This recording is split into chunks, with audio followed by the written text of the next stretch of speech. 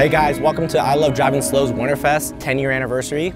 What makes us different from any other car show is we don't reject anyone that comes here. We allow everyone to show their car.